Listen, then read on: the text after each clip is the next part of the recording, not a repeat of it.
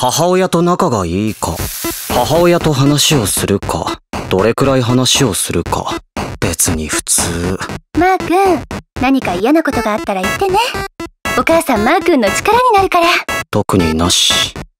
母親と一緒に冒険の旅に出たら仲良くなれますか？マー君お母さんの話聞いてる？頭悪い質問だな。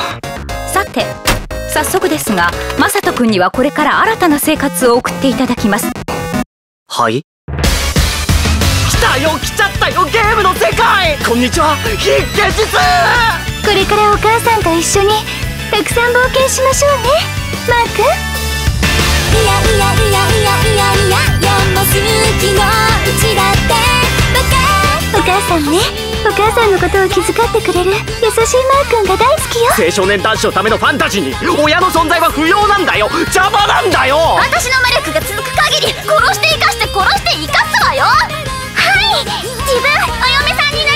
なりますやっぱりマサト君は私の運命の人かも。知らせるのは私の役目です。絶対間違ってるだろなんで？なんで？なんで母さんは通常攻撃が絶対攻撃で2回攻撃なんだよ！